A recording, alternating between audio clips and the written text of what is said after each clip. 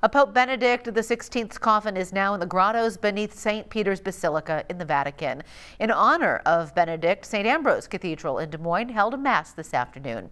The cathedral's bishop says Benedict was a humble and selfless shepherd who preferred to serve the church behind the scenes instead of shining the spotlight on himself. Overnight, his coffin was carried away after a funeral mass in St. Peter's Square and taken to those grottos. Tens of thousands showed up to the service that Pope Francis presided over. Benedict's coffin was placed into a zinc coffin, which was then placed into another wooden one before put into his tomb.